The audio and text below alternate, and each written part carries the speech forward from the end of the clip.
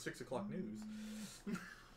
On this episode of Entertain the Geeky, myself, Chris Parsons, Joe Moore. And Roger Moss. are gonna tackle games, both video, board, RPG. I guess it's more than both, but it's it's, more a than lot. two. TCG. TCG, anything that anything that we can get our hands on. Um, we're gonna we're gonna explore some of that right now. So, for those of you that have w- listened to the other two episodes, this is kind of how it's going to go. We like too much geeky stuff to try to talk about in one episode, and honestly, it's better this way that we have episodes dedicated to subject matters that we like. that, That way, you like, so you can skip through the shit that you don't want to hear. Exactly. Don't You- like comics, but you like board games. All right, this episode's for you. The last one wasn't. you don't like movies, we can't really help you. Yeah, you're a lost cause. Um, video games. We're gonna touch on some of that too. Well, E3 was this week. yeah, E3 was this week, and some really big announcements came out for video games. Um, Breath of the Wild. Breath of the Wild, the redo of, of, of Skyrim.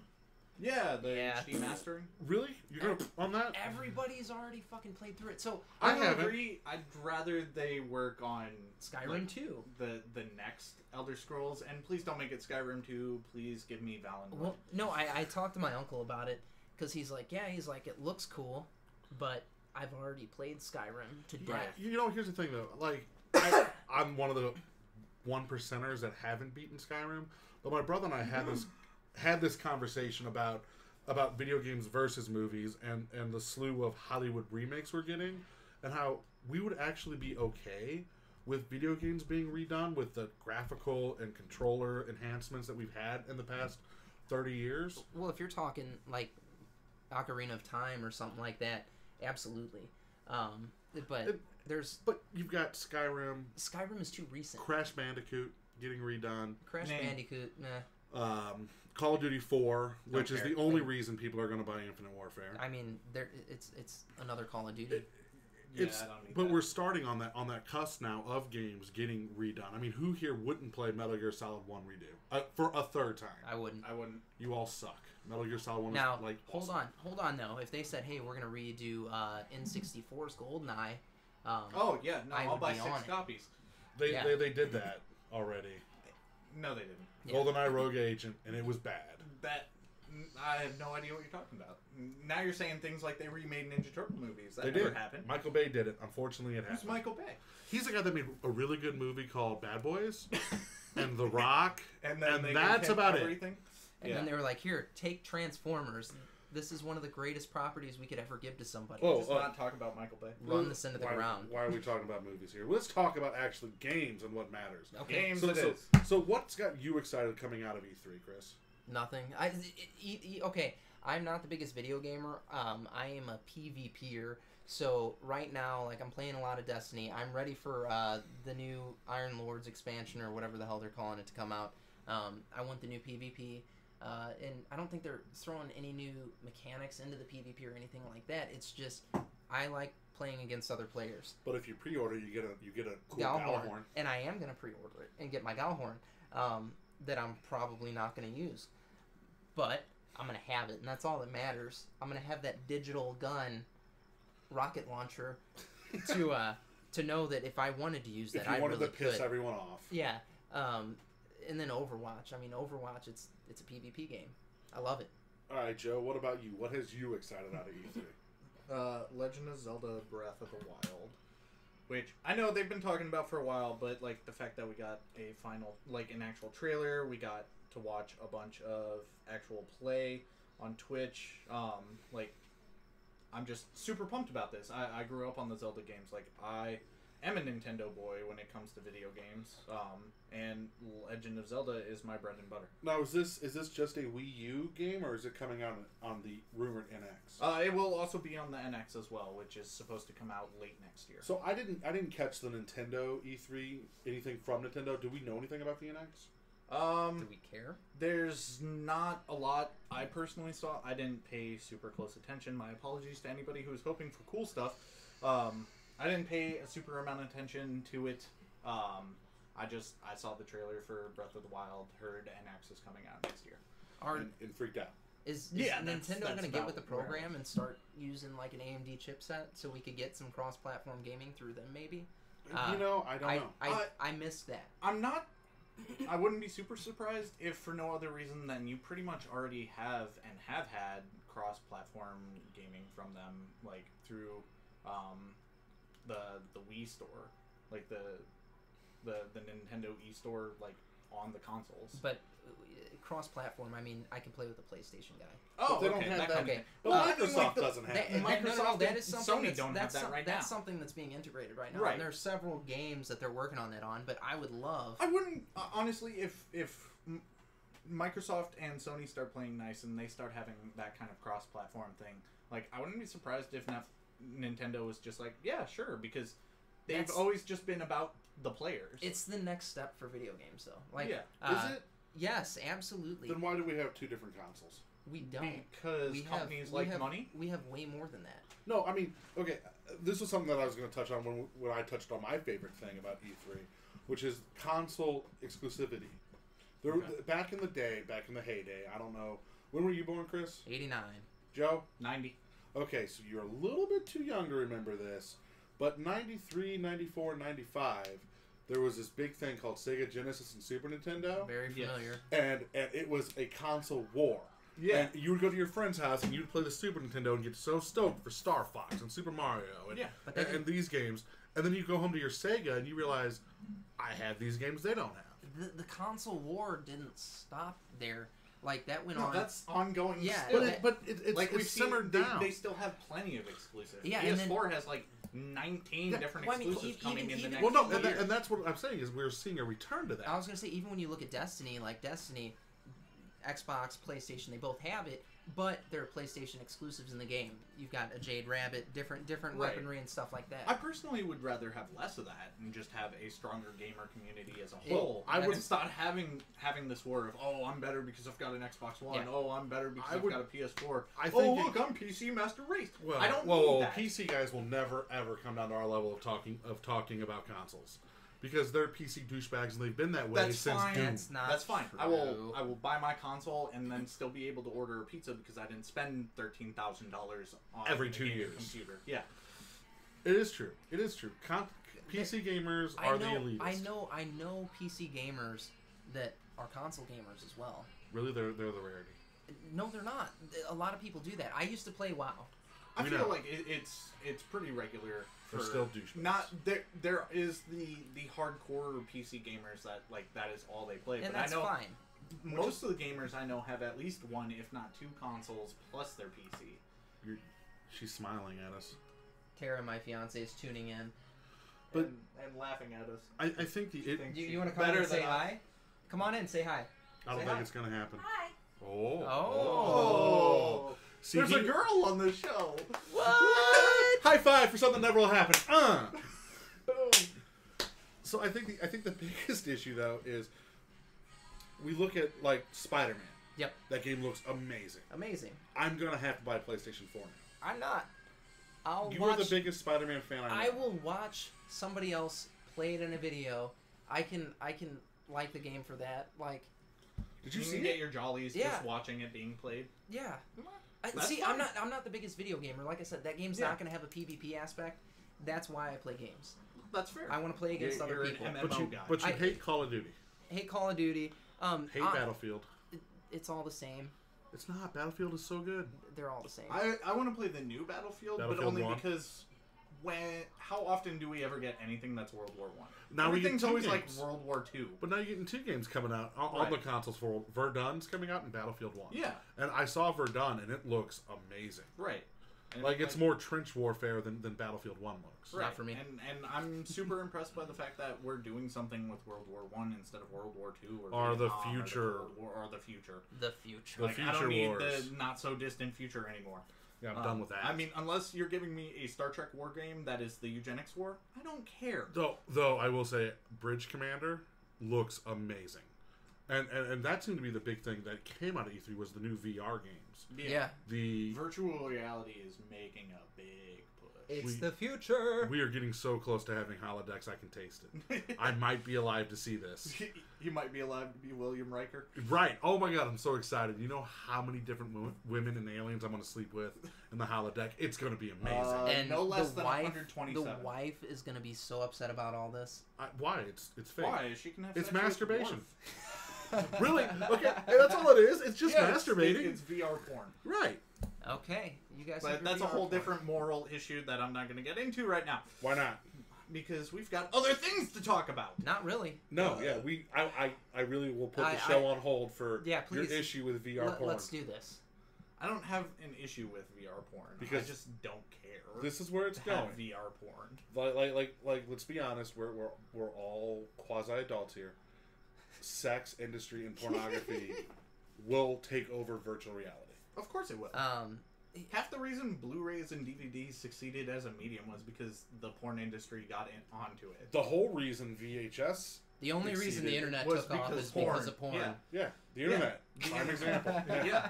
Yeah, I like- can't type in anything No, without I- seeing text. like the the porn industry is a solid industry, and generally whatever they end up backing is very successful because of it. I have no problem with this. so I don't have a problem with the porn industry whatsoever. but is it cheating?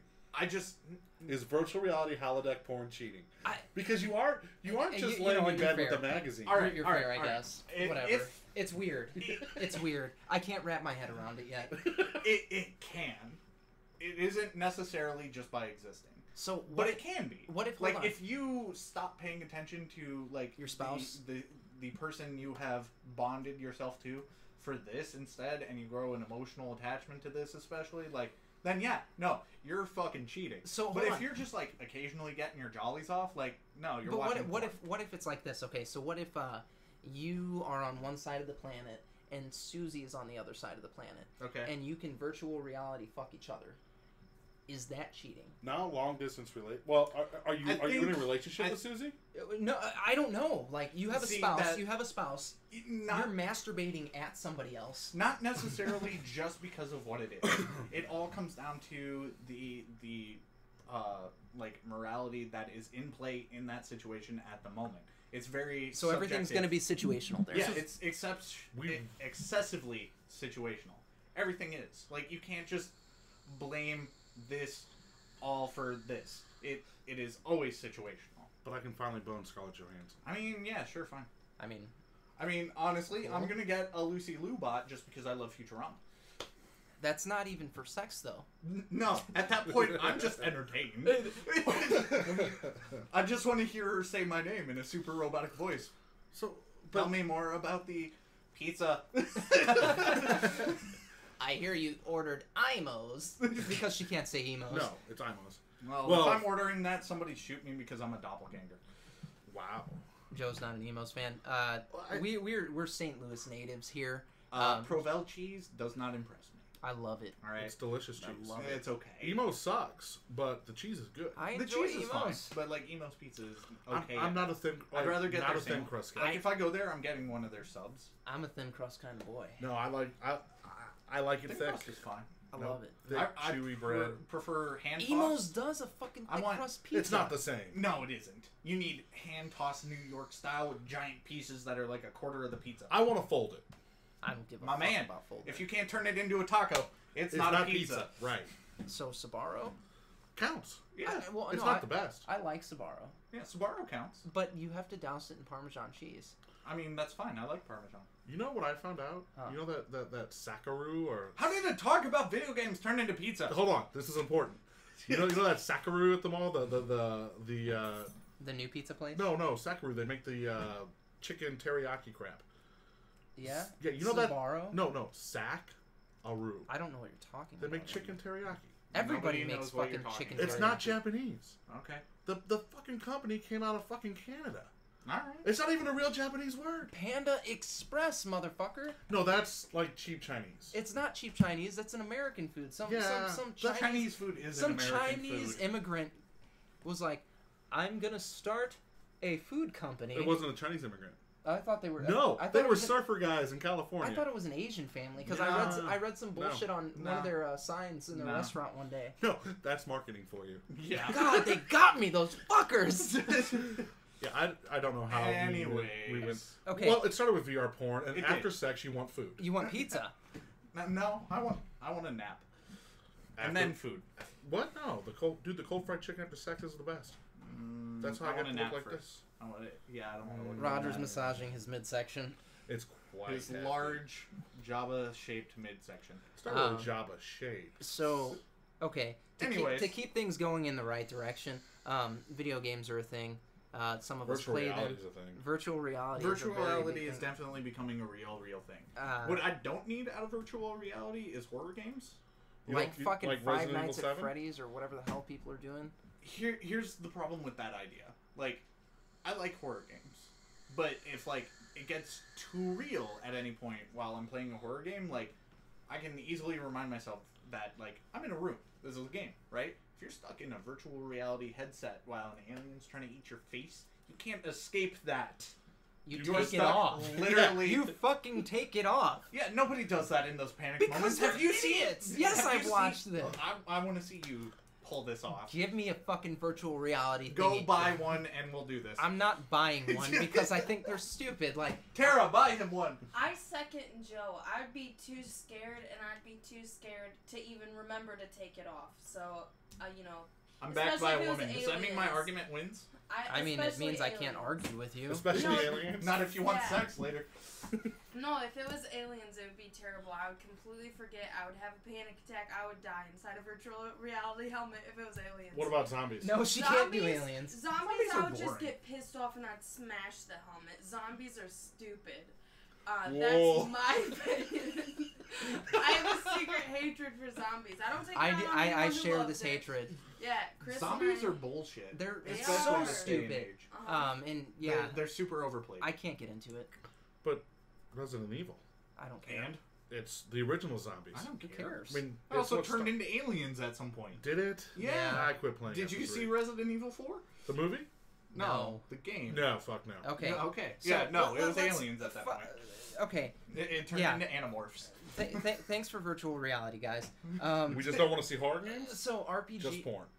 Just you porn. just want the fucking porn. I, I don't. But I don't care about I'm trying to having sex out- with an alien. But I'm trying to figure out why we care about virtual reality. I don't. Because it's There- the next step to being a thing, immersive. It, it's the same reason people play RPGs or any game, really, um, that involves your full on interaction. Like, you're looking for an escape from reality for a time being, so you can be a hero or someone different, just so you can enjoy something and not worry about the real world. But that, that, that's Virtual an RPG. re- I mean, that's an RPG. Yeah, but virtual reality is the next step into turning video games into that. Like you are more immersed into this, oh, I- especially the ones where you have to like are standing But are we and you ta- actually have to like are- run on a platform. Are we taking away from imagination with that?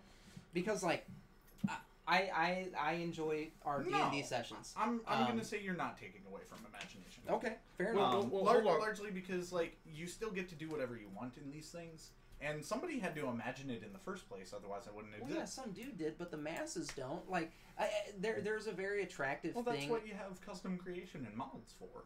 Like I guess so. You, you I guess can so. change it I don't. as I, a person. I'm not a modder. That's fine. I'm not a modder. The game is what it is when it comes out. You patch it, you fix it, and that's the game. That's- Part of the reason I've with. always That's- preferred tabletop RPGs to video games because I can create that world from the ground up. Well, no, and that's that's what's attractive about it. Like, I'm playing a character right now in an RPG that's a stoner, and I'm a far cry from a stoner. Um, so yeah, get out of You're just one doobie away. I, I, Everybody is one can't- doobie away from being. I can't get it. I, I, I don't like it. He Uh, tried really hard. He gave it good effort, and it just wasn't his thing. it's not for me. I understand this. Like I know how my brain works. It already kind of races. But you, as a druid, love the shit out of some shrooms. I do. It's so much fun, and like I get to skip perception checks all the time because my character's stoned, and I'm like, I'm on my own little world. I don't need to roll a perception check. Right. Uh, so it, it's a blast, and like I get to I get to be this short, chubby, stocky little druid with Ugly little dwarf druid. So you're me. dreadlocks. Huh? You're me without the dreadlocks. Well, if you Roger, you're like six two. Imagine if John was a like had a bulbous nose and ate shrooms. You can't make John ugly. Yeah, I can. No, Yeah, you can. Perks is, will always be cute. I'm sorry, it's true. I mean, he's pretty cute on his I love John Perks, but we could make him ugly. you could turn anybody ugly. Give me some special effects makeup. I'll Yeah. make him ugly. I have no fucking clue what I'm Nope. doing. Do you know why? Do you know why? Because his eyes will still be magnificent. No, we can fix that. Yeah, you put contacts lenses Yeah, in them bitches. we'll They'll dull that shine shit through. right No. they now. will shine No. through. No, I Yeah. can fix it. Yeah. I'll make them shit brown real easy. I'll just turn them white. Just pupils. So now we're talking about people that nobody even knows. Uh, John Perks, manager of the St. Charles Fantasy Shop. Yep. Uh, I think he's on his way to general manager, isn't he? I don't know and can't talk about it. He doesn't know and can't talk about it. John Perks, sweetest man in the world. Um, dreads and beard for days. Yeah. He's a hippie. I love him. Yeah, we love a hippie. That one. That hippie. Anyways, Uh, no, but like uh, that. but yeah, that that's why I've always preferred RPGs. Well- it's a more interactive world. Um, much Speaking more of RPGs, and you can build it up from however you want it to be. we just had free RPG day, We did. which, for those of you who don't know, they have two two big events a year at, at, at comic shops. Free And comic game book stores. day. Free comic book day, which was last month. Yep. May first week, Uh, first Saturday, three, May. Three big events. What? Free comic book day, free RPG day, and then international tabletop day. Ooh, international Ooh, tabletop yeah, that's day. a new one. Yeah, That's a Yeah. beautiful That, that one. is though. a newer one from the the guys who own and operate Geek and Sundry, but it is a day Awesome. specifically to celebrate board games. It's fucking awesome. and So- and that was a pretty big success this year. So free RPG day, like I've always felt with role playing games that they are the the the backbone and also the hidden gem uh, of ga- the gaming hobby. Yeah, Whereas you hear about D and D and everyone ha- has knows of D and D, yeah, but it's it's Yeah, the, the massive worship the role devil playing games. while we're Well, playing it. Of course we do. yeah. No, what is Uh, this? I'm 1984. s- I'm summoning Satan in Yeah. in your basement. Absolutely, and then you get lost in some schools' steam vents. Our sewers. Yeah, Thank you, Tom Hanks. Yep. But it seems to me that like role playing games have always been the backbone of the hobby industry, but also that kind of redheaded stepchild. Yeah. Yeah, of- because they they have that stigma from from the early '80s where they were decried, and they've never been able to really shake that off. And and like to the mass media for the longest time, they've always had that like, oh, it's played by lonely fat dudes in their 40s Well- in their parents' basement. That's one of the things uh, working at the fantasy shop. Like, I had some dude come in from Gold's Gym that was he was this fucking ripped redhead guy. I'm pretty sure the guy was bulging out of his shirt. The guy was stacked, and he's like, "I need to get into D and D five. When do you play D and D?" And I'm like, "Fucking Wednesday." Fucking Wednesday. When do you play D and D? I live D and D. No, So it, it, it was cool. It was cool because you've got this dude that does not fit the build for what an RPG Right, player is what you coming in to do it. Well, uh, I think it's it's kind of that thing of now we've grown as a s- as a society where our little nerd things used to be us not getting laid to where everyone is do, is doing either comics, video games, or some Yeah. sort of some It- sort of gaming. It, it is much more wildly accepted by the masses so now. really, with Free RPG Day, what did you guys do? Like, what was your big thing? Uh, our our big thing um, that I personally ran actually uh, recently, um, D and D released a new uh, adventure supplement, um, which Which is which was Curse of Strahd. it's It, awesome. it's it's a uh, major vampire story um, and and horror campaign that the characters have to go through and deal with this uh, Count Strahd von Zarovich um, in his realm, like in a land you cannot escape. now, now, this is just a redo of the original '80s Ravenloft, right? Yeah, um, it, it is a a reboot basically, um, which I was super pumped about because I always considered the original Ravenloft to be the best thing that ever happened, supplement wise with D and D. And and they got uh, the original writers to come back and redo it for fifth, and they added a few new elements and changed up the gameplay and stuff. And there was an introductory adventure for it called Death House, um, that would put characters in the world, and you would go through a house of horrors that would change and is alive and pretty creepy. And I ran uh, a Smash group through shit. it on on Free RPG Day. I personally have two groups um, that I'm running through all of Curse of Strahd. Yeah, right I'm now. in. I'm in one of them, and it's a blast. Joe makes us play by candlelight. Yep. It's kind of romantic, um, a little. little. Uh, we That whisper sweet wine. nothings into each other's ears as we play. Yes. Uh, and my character is on shrooms or smoking weed, um, constantly. So Yeah. it's it's so much fun, and Joe allows it. To And smoke I- weed? I'll allow his character to be a druggie. Yeah, my It's fine. character can be. I can use that against him. He does use it against me. So what else? Okay, so we got Ravenloft. What's Pathfinder doing now? Uh, Pathfinder right now, their their biggest uh, release lately was um, God, I can't remember the full name of the book, and I apologize for that, but it was uh, based on more on social combat than actual combat. It Nice. was it was based on um, developing social skills and diplomacy, and dealing with high society and secrets and stuff. And it actually had a new build for characters where you could basically build Batman, the So- vigilante. So you're telling me third edition finally got social skills? yeah. And and is, is it still just rolling a d20 and adding bonuses, or does it actually I make you mean, it's play? Math Finder, so it, it involves uh quite a bit of rolling, of course, but there is quite a bit more um, actual role playing involved in in that. Um, now, what about some of the indie press? What are we getting from that's not, you know, Pathfinder D and D Fifth? Um, one of my personal favorites uh, that's been coming out over the years is a series of books called End of the World. Um, each one revolves around a different apocalyptic scenario. The the first of which they released the ever popular zombie apocalypse. um, which was then followed by one called Wrath of the Gods, which had several different scenarios in it, following different religious uh, themed apocalypses. Didn't we get a Robo Apocalypse with that as Uh, well? that that is the next one coming in a few months. Um, there will be a robot apocalypse where the singularity happens and you end up with Terminators and stuff. Zach is uh, going to be terrifying. Yeah, he is. Um, but there there was also one that was based around alien invasion.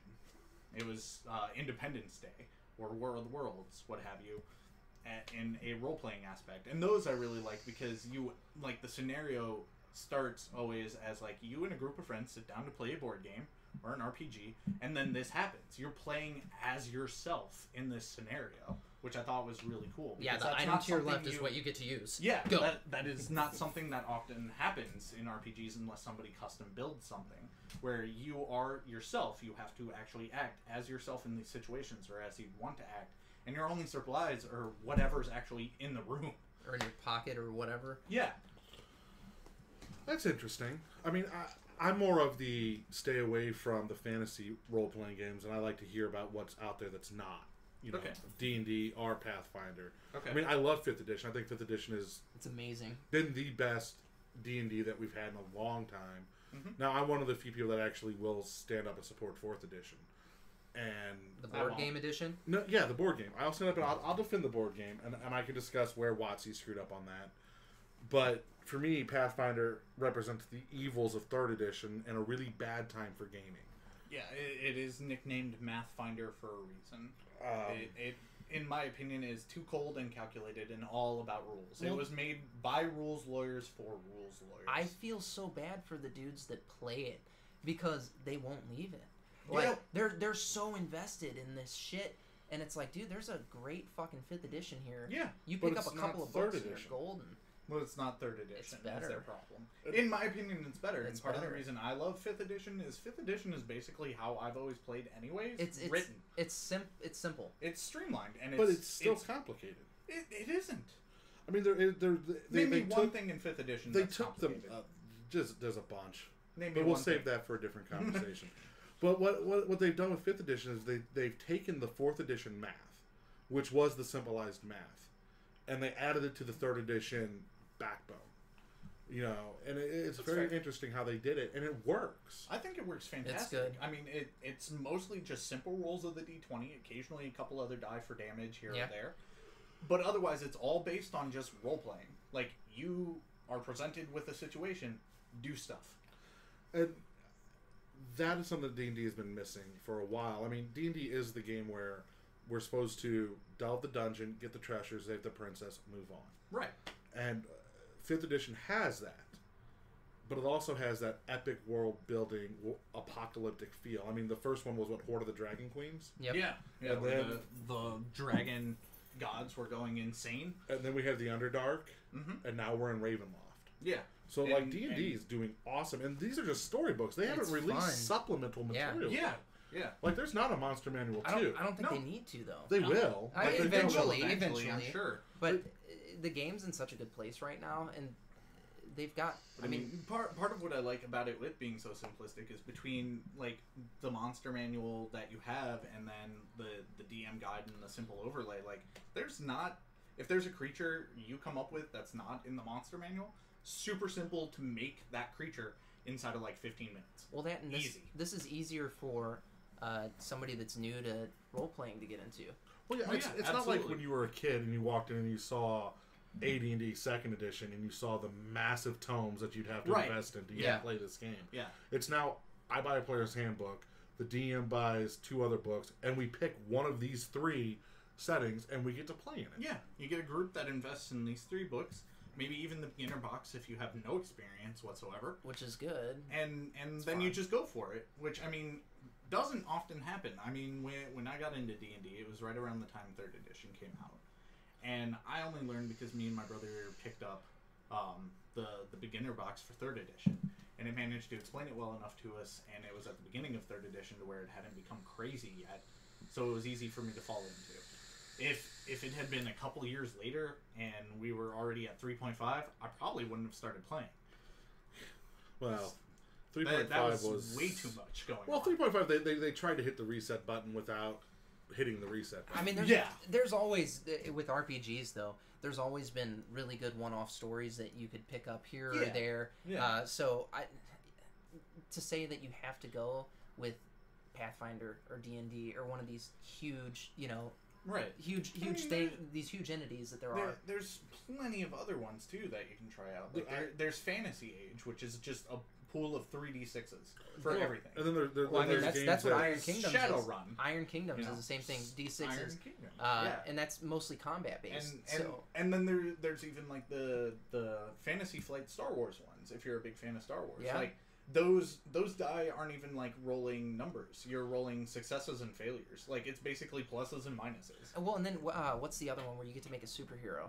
champions. Yeah, Champions. Champions. Champions is an awesome one. Uh, Marvel did a few Mhm. um, a few years back. I, I can't remember what they're called for the life of me. Superhero, Marvel superhero. Is that what it was? The? Marvel superhero role playing game. oh yeah, it was I know, yeah. I know, Roger. You're a gigantic fan of the Deadlands stuff. I am. I'm a gigantic the, fan the of Savage Worlds. even yeah, even Savage Worlds, but I, I prefer old school Deadlands. That's But See, I, I had a blast playing No. that one Deadlands Noir game with you. I and I, had never played that system ever. I think we're on a cusp uh, of an explosive RPG that we saw in the 90s with third edition coming back around. Yeah. But the fact is, it's not going to be like it was with just one system. Like you've got Star Wars now re- rebooted with its own system. yeah, no, we're we're gonna have another explosion, in my opinion, much like we did with the White Wolf stuff in Oh the my- early '90s. Yeah, and I and think we're we're right there again, and that would be great to get those back, th- things like that back. It's a Because really good I, time. I Joe wants Vampire those and- Well, I miss Vampire and Werewolf well, like no do- other. they have them now. I mean, you just got to play in that new world that they made. That's fair, but I miss the old ones. Call of Cthulhu. Call of Cthulhu is a game that's never going to leave. Never. Yeah, no, they're on sixth edition, seventh like edition Seventh, right now. seventh edition. Isn't it? Yeah, seventh edition. It's, it's basically the same game, right? Yeah, I mean, like they just keep adding stuff. They really. keep adding stuff, mean, working it's- out old rules. It's More always power to just. 'em. I mean, it always Subtle boils improvements down kind to of thing. just like percentage die rolls but if you if you read easy. first edition, and try not to go Call of. Cthulhu, and then you like just Yeah. read through first edition and then read the new edition, you will see why they've made the changes. Right. No, their their changes are small ones. Like, all right, like this was a problem that we noticed. Like, let's try to fix it, and then like slowly working out all the kinks to where eventually we'll finally just have an edition where they'll be like, all right, I don't know how to make this better. Okay, so I'm gonna ask the, these two guys, and I'll, I'll weigh in on what I think. The top three role playing games you must play. Joe, go ahead. Oh man, uh, come back to me. Let me think about that for a moment. Chris, I mean, obviously you've got D and D Fifth Edition. Um, D and D's got such a, a massive universe that they're building with that, and uh, you can you can do your own stuff with it. It's very very player friendly. Um, honestly, outside of that, I really don't care. Iron Kingdoms is awesome stuff. They've got a beautiful world that they've created. Uh, they've if you want to play as more of a a bad guy, you can do the Unleashed thing. And outside of that, man, like uh there's not a whole lot that really piques my interest outside of the Marvel role playing game. uh, which I've heard very mixed reviews on. It's either loved or hated. Is that Um, only because you want to play Spider Man? No, no, no, no. I actually I want to. Uh, there's a build your own hero thing in it, and I want to do that Why don't you just play Champions? because I want the Marvel branded one. Fair enough. All right, Joe. Um, fifth edition, because I, I think D and D has to be on the list. Like, if you haven't played D and D, you need to. D and D is beautiful, um, and fifth edition is, in my opinion, the best thing they've ever done, and I love it. Um, from there, uh, I, And it can be old games. Doesn't Yeah. have to be new games. All no, right. it doesn't have to be new. Um, it. I, I really think um, if you're looking for something with a more realistic flavor, a little more unforgiving, um, and a, a different system where you get to do a whole lot more world building than just building your character, um, I highly suggest the Game of Thrones role playing game because you not only just build a character, but you, with uh, your fellow players, like build a house and a history um, and make like a family, and it's much bigger than just making a character in the background. Um, and it's a super unforgiving system. Like if you mess up, you're gonna pay for it. You're dead. Um, Okay, and and number then three? My my my third choice, um, in oldie, uh, especially for for people who like um, horror campaigns, Dread. Never heard of it. Dread um, doesn't even involve dice. It's a simple book. You honestly could do it with one one player and one game master, or a group much larger than that. But it's all based around small horror campaigns, and then you need a Jenga tower. What? That's interesting. Jenga D and D? You need a Jenga tower because whenever you, as a person in this world, try to do something, you have to pull off a Jenga block, and and it's to create this atmosphere inside of this horror world that the farther you go, like the worse it gets, the more unstable the things are? The harder it is to do Nice. these things. And what happens when the tower falls? Uh, Everybody two- dies. Two ways the tower can fall: either a, you knock it over, and you get to choose how you go out, or b, you accidentally knock it over, and the DM tells you how you go out. But if the tower falls, you die. So, so the game ends basically when you die. When when a character dies, they're out completely. and Interesting. the game's over. It, it's it's built for one shots. It's Okay. not built for like a long overhauled campaign. But one shots are awesome. one like- shots can like- be fantastic. I, I, I, love one shots. my my introduction to D and D or RPGs rather Right. was uh, one shots, and it was I'd go to a party with some friends, and they're like, "Hey, we've got a D and D one shot." Um, so we're gonna build a Right. character really fast, and we're gonna play through this little campaign Yeah. here, and it was it was it was so much And fun. I mean, that that's part of the reason I love Dread. It's very simple to set up. You don't even have to bother making character sheets. You you give someone you can give someone a personality or let them choose a personality inside of world, and it's very versatile. You can have it in a fantasy setting where you guys are dealing with uh, being stuck in like a cat hunting lodge that's being attacked by werewolves. Or I did one with a couple friends uh, a couple weeks ago where I set it up. They were um, it was the movie Predators. They got dropped Nice. off on a hunting planet and were being chased by predators. Like it's very versatile. It's great. Um, you can only get it online now. Like you have to download it as a PDF um, So for like fifteen Free? bucks. Oh, 15, okay. Yeah, it's like fifteen bucks downloadable as a PDF, but that's it. It's simple. Money well and you just spent. run with it. Or we just have Joe print us copies of his. I mean, I could. I mean, or we can support the And- people that and are if- doing if it you because want- that's well, important yeah. for our if you industry. want a, a good example of how that game works, there is an episode of Tabletop with Wil Wheaton where he plays it with a couple people. nice. Okay, cool. Good to know. Roger. Oh crap! My actual three. Obviously, D and D Fifth Edition. Uh, All right, we're all obviously. agreed. Fifth we all edition. agree is the best. Everybody play fifth edition. If you don't own it, just buy it and play it. Or, I or mean, fucking Come up to the fantasy shop on what? On Excuse me, Wednesday. on Wednesday nights. any You don't even have to know how to build a character. Get there at like five thirty. We'll help you build a character. We'll give you a pre-made character even, and just jump on a table and go. for those of you that live outside of St. Louis, any game shop should be running a fifth edition D and D game on Wednesday nights. Yep. Check with your local game stores. Check with your local game stores. Um, Find jump out who's on, doing it. Uh, D and D's Adventure League website, and that should tell you all the locations anywhere near you that are playing an Adventure League game. WotC really has thrown their full support behind this game. Well, what's badass about uh, Fifth Edition too is the the community that it's built. Um, you don't really have the elitists that you have with a lot of games. No, Uh, everybody no. is super helpful, It's- and they they want other people to play. It's Yeah. a mix of, of old school D and D players who played second edition, third edition, fourth edition, and a bunch of new blood. And those old guys know how close D and D came to being a thing of the past during fourth edition's debacle, Right. and they don't want to They- see that. They just want to welcome new people into the scene, and they're very happy to bring in. and new it's players. very refreshing to see. My second favorite game is is a little gem. It's an indie press game. It's called Fiasco. I've heard of Fiasco. Uh, Fiasco is an amazing game where you are basically playing a Coen's Brothers movie.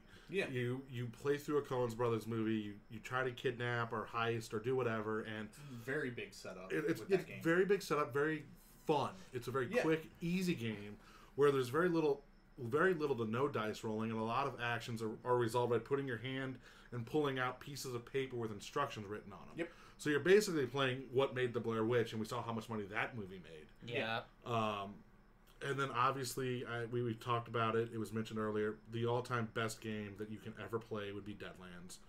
Any version of Deadlands, but originally the ori- obviously the original is where it's at. Something about The original is where it's. He's that kid. I'm that kid. Yeah. I'm sorry. The, the, the system the system was built for that game. It, it's a it's a Western survival horror spaghetti, campy, fun, good time where you can do whatever you want in this world. Well, See, I preferred the noir version. no, the but- noir's good. But I think that's because like I'm definitely a Cthulhu kid, and the noir gives that like black and white And- with a like ambient horror feel. The, the best thing about Deadlands is there's now four different games that go through different time periods. You've got the Wild West, you've got a storyline through that, which led to Hell on Earth, a post-apocalyptic game. Mhm. Then you've got a space age fighting alien game, and now you have the new one, Deadlands Noir, which is this really cool 1920s, 30s, 40s, and 50s game. yeah, and involving it- gangsters and private investigators. and it, it just it's a great. really good story like just the entire game flows very well into a storyline and i can't recommend it enough but on a side note one game that everyone should play at least once in their life is paranoia if you guys have never I've played never played Oh, you're Paranoia. missing out, dude. paranoia is a game you just need to play well, I, I I, I will agree with that. Everybody should play Paranoia. I think what everybody should kind of take from this is uh, it- I'm sure we've got listeners that are not RPGers. Um, fucking play an RPG. Shit'll blow your mind. Uh, yeah, especially if you played like any sort of quote unquote RPG ish MMORPG, World and you've Warcraft. never yeah. played a tabletop RPG, you are missing the mother lode, man. just It's so good. get some dice find four friends read a book and play a game and i think that really needs to be our motto on these type of episodes Pretty much. I mean- Find some friends, read a book, And and, play roll some a dice. I real quickly though, as as time evades us, let's talk about something that that came out that's really big that Chris doesn't care about, but that would be Eternal Masters. I talked. I, It is super big in the Magic Magic, the. Gathering world. Yeah. Like everybody was super excited about it. Nobody is getting enough because they're doing a very small print run. It's it's smaller than Modern Masters 2015. Yeah, No. and it's it's pricey. I mean, like a regular pack of Magic cards is about four bucks. A pack of Eternal Masters, like on the cheapest shop side, is like twelve. I've seen it for 11, and that was as cheap as I got it. Yep. well, like My my uh, my little brother was telling me about it. It it sounds like they're putting off a bunch of fucking banned cards and stuff. No, No, there's no, they're cards. just they're reprinting old stuff that is viable in modern and legacy, It's mostly legacy. Mostly legacy, which is Was it like, J- Jace the Mind big Sculptor? James My Sculptor, Isn't that banned in like five different formats? except for legacy and vintage. yeah, because you Yeah. can't ban things in that. You can restrict. You can you can ban in legacy. Can you ban? Oh There- yeah, there's that's a the ban difference list. between legacy and vintage. Yeah. Um, the the to me though, I felt I, I I did get a box, and I felt that by watching these packs open, and I've now opened a couple more outside of that box, it is a bigger lottery ticket. Because either Yeah. you're going to open a three hundred dollar card, or you're going to throw twelve dollars down the drain. Yeah, I mean, one, one of my customers, like, he bought a box and got a seven hundred dollar return. Yeah, which is cards nice. I bought a box and lost three hundred dollars. Yeah, It- it, it it- it can go either way. But it's, that's- it's definitely a lottery at that point, and and like not for the casual player by any means. But I will say, if you can get a box, get a box, don't open it for yourself. Invite eight, fr- seven friends over and Draft, draft that, thing. Yeah. Yeah, Because- yeah. no, that is always exciting. That is where the that is where this little I- Masters thing. I will shines. recommend have a f- one of those friends be pretty up and up on some of the old mechanics because otherwise you guys are going to be arguing about what this card does for Um, So get a Kevin while. Freeman. Yeah, get a Kevin judge. Freeman. Um, he'll set you straight every time. I mean, Uh, Kevin Freeman is one of our local Magic players. Uh, I think he's going to be on next week. be on next week. We're actually going to do a Magic themed episode. That's why I wanted to touch briefly on Eternal Yeah. Masters. I'll, I'll let you guys talk more about that next week. Um, but definitely just pick up a box and, and get some friends and draft it. I think, uh, especially in that community, it's always about opening packs and getting valuable cards, and we forget the fact that we're playing a game. And these eternal and these masters, modern masters, eternal masters, maybe they'll continue doing them, are meant for getting your friends together, popping packs, and playing this game. I mean, no, it's meant for making money. Well, that's the To some people. that's the but I mean, I mean to Wizards. Oh No, yeah, yeah, definitely for No. I mean they're they're they're they're, of they're, course. they're I mean, but I feel like they. This is I'm looking at this wrong probably, so forgive me. But I feel like they kind of exploit their players a little bit with some of this shit. um I you know what I that was my original And intent. name me a company that doesn't exploit somebody somewhere But I don't to sell think- a product. I mean, it's not okay. It's not somebody somewhere. It's anytime. Like they've got formats that rotate more quickly now. Um, Standard does rotate quicker now. it, it's bullshit. Like they said they did it for the players. Really, what you're doing is you're hiking prices on the secondary market inadvertently. But it happens because of how quickly these formats Right. rotate. You've got it's supply and demand. We'll talk about that next week. But what I really want to say about Eternal Masters is you're right and you're wrong. Uh, what they've done is they've allowed the people to get into the ease of getting into Legacy is there now. You still are going to have to spend money on the dual lands, but Jay's hundred dollar card is now sixty dollars. Chain Lightning, a twenty dollar card is now seven dollars. These cards, the, the staples that you need to make a competitive deck, Are now ha- cheaper. are now cheaper because because of these reprints, and it, it, it allows the game to grow more than just quick rotating standard, where whereas where WotCs make their money to eternal formats are now becoming more viable. Uh, Eternal Liliana, formats are- unfortunately, the is still way to too play. expensive. Liliana is expensive, but who's to say they won't reprint her in a From the Vault or Heaven Heaven Help Us in the new set coming out? That's fair. So I think that's that's our magic conversation for this junk, juncture point. Next week, guys. Next week we're gonna dive into it, and I'm gonna rip apart the community. I guarantee. Oh, it. dude, I'm If- right there if you with leave you. This episode with anything, it's that you should be playing an RPG. Definitely if you play an RPG. I don't know what you're doing with your life. I mean, we were going to talk about board games and awesome star rounds, but we're quite frankly running out of time on this one. So let's, Honestly, hold on, man. No. Let's hit these motherfuckers with some board games. We've got time. Do you want to talk about board games? Let's All do right, it. we'll All go right. in for the long haul. Let's on- do it. on Joe? board games. Let- let- Let's do it like this. Joe, tell us the three games that they need to play and why, and then we'll go around the room. Uh, three games you need to play and why. Um, you need to be playing Red Dragon Inn. Damn it, Joe. Absolutely. Uh, Yep. Red Dragon Inn, one of my favorite all-time games. Did I introduce you to that? Yes, you did. Yeah. Uh, real easy to get into, really fun, Best party game. super good party game. Um, another game you definitely need to be playing, in my opinion, if you haven't, um, is uh, shit. What's it called? Uh, Splendor. It is good not Oh yeah. Not game. an overly complicated resource management game, but it's a completely different style of game from a lot of other games. That's the jewel game where you're a jewel smith, right? Yeah, basically, and and you're you're trying to recruit nobles to your cause, and you build jewels and stuff. Like it, it is all about resource management without being ultra competitive. Is it easy? Like, is It it, is- an easy pick up and play game? I I personally think so. Uh, most resource management games can get very complicated very fast. Yeah. Splendor, um, I personally uh, learned that you can teach to a person inside of 15 minutes or less, Nice. very easily. We we demoed it for uh, Geekway. Interesting. Beautiful. So it like people I taught it to learned usually read about 10 minutes to explain the mechanics. And third, Uh man, third third is a tough choice because there's way too many good ones out there. yeah, but we Um, got those covered. that's fair. Uh, my my personal opinion, if you're not, uh, just because I have to keep horror in the game because I'm such a horror fan, um, you need to be playing Betrayal at House, on, the Hill. Oh my god, Joe, I love that you for that. That is a really good. Okay. Excellent fucking you, game. You and a group of friends are basically uh, at first uh, Scooby in the game. Um, you are in a haunted house that is being built as you go um, from flip tiles. You have no idea Every if you're game gonna is run different. into a room or a hallway, and it changes every time you play it because you shuffle that deck of rooms. Um, and then eventually, one of you turns out to be a traitor and tries to murder everybody else. I'm a fan of I that. I've only been killed. I've Uh, only can been I have killed. one more? Yeah, of It's- course. Uh, it, this one isn't a board game per se. It's just cards, but it is a personal all-time favorite. Cards game. Against Humanity. I No, I'm haven't played fucking with it you. in a long, long I time, hate and I that game. really need to get a group. You need a group of at least, in my opinion, eight people to Are be you able about to play say this werewolf? successfully. You have it. werewolf Werewolf. is one of my all-time favorite games. Yeah, Werewolf is a fun It, one. it, it's super simple. Everybody ends up either being a villager or a werewolf. Uh, the villagers during the quote unquote daytime rounds are trying to figure out who's a werewolf, who isn't, and lynch and kill the werewolves.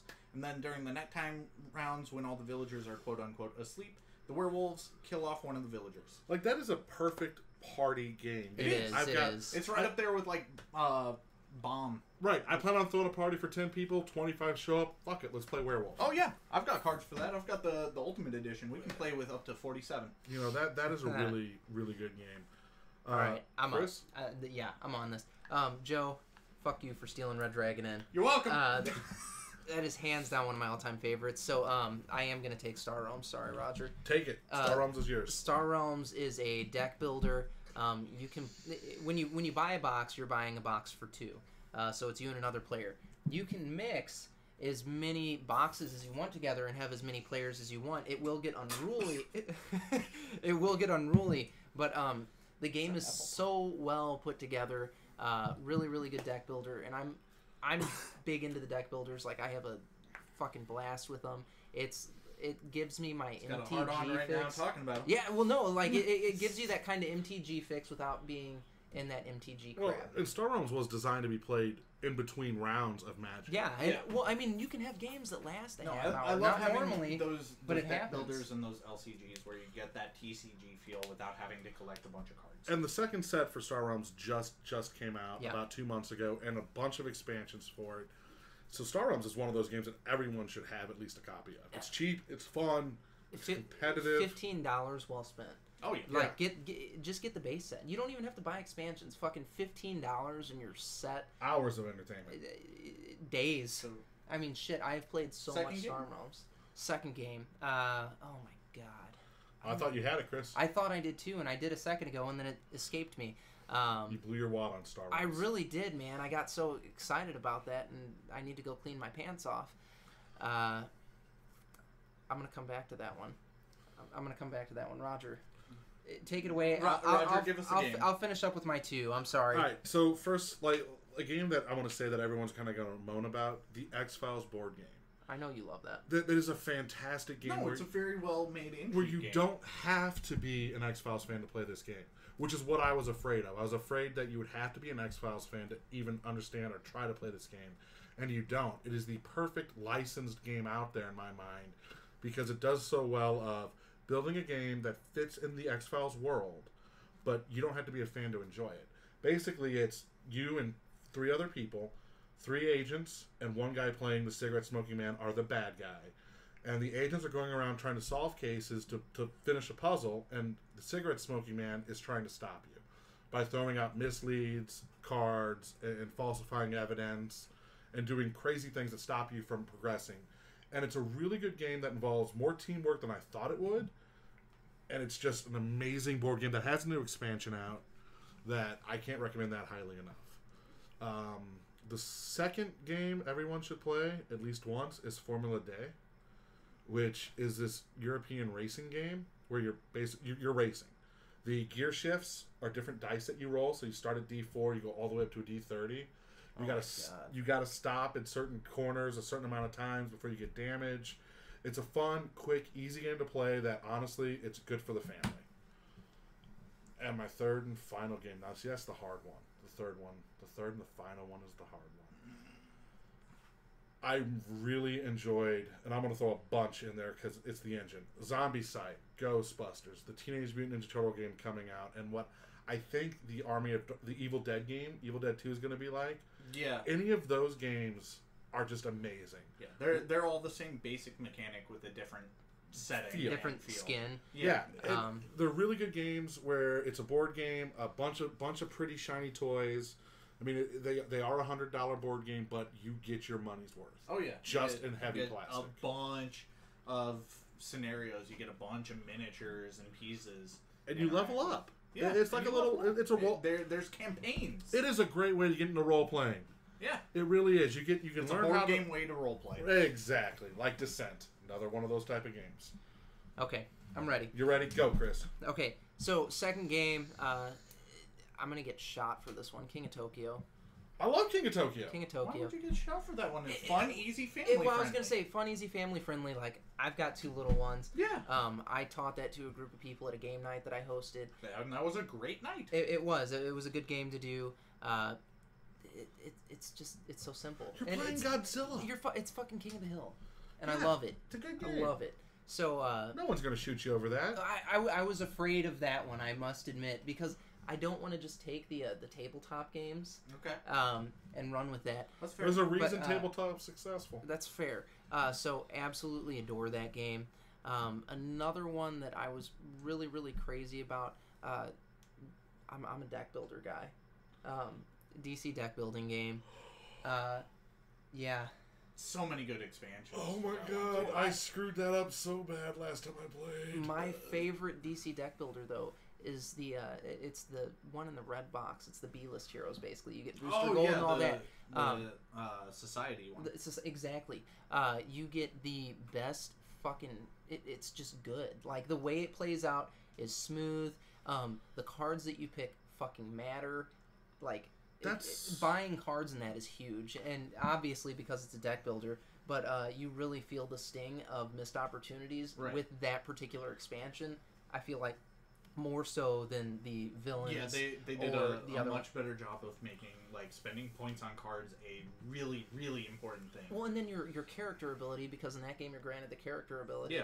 Um, I feel like that wasn't a complete handicap if somebody picked the character that you wanted. You weren't completely getting shit on. I- right. That's another one of those skin games. it is. No, it's completely Well, because like, it's they've done a Street Fighter one. They've done a, There's a a Cartoon Network one. Cartoon recently. Network one. Yeah. There's an NHL one, and they're all the same Oh, I skin. forgot about that. Yeah, it's called Power Play, and it's horrible. yeah, Um, But it's the skin. I mean, it, it- it's the same game. But, uh, I'm- I, I, yeah, I love the deck builders again because I, I used to play Magic. I played Standard, and uh, once I finally freed myself of the cardboard crack, um, that was a way to get the fix was the deck builders, and it's anybody can play it. I, I- think deck builders are, are an interesting way of the future in the sense of they're not collectible. I think they're even better. I think deck builders are even better than the living card games Yeah, absolutely. because it is this box that I get to play in. There's no pre-con. There's no showing up with a deck that's top that, that's the top of the line. It's I got to play what's dealt in front of me. it's life.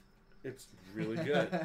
it's real life. so what we've learned this episode for you viewers is go out, Play a game. play a game, get some friends over.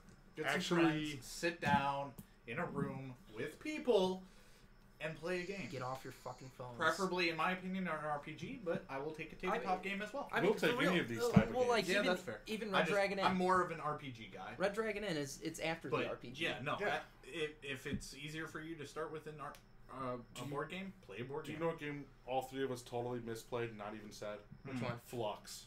Fluxx. I can't get fan. into it. You, you, it's the most simple card game It's in the world. I'm not disagreeing with it's that. Like it's boring. it's super easy to get into. I've just never cared It's a about great it that much. beginner game. It's boring. I'd rather play Sheriff of Nottingham. Sheriff Nottingham Sheriff is of good. Nottingham is one that I actually considered listing in my top three because the first time I played that was actually at a uh, tabletop day, Oh, yeah. and uh, I was I was so apprehensive to play it. I was like, this is so tacky, and I sat down and played it, and I was like, fuck, yeah. this is no, a great super good. game, great game. Super good. So I guess is this where we sign off, I think Uh, so. I guess. guys? Play more games, and thank you for tuning in.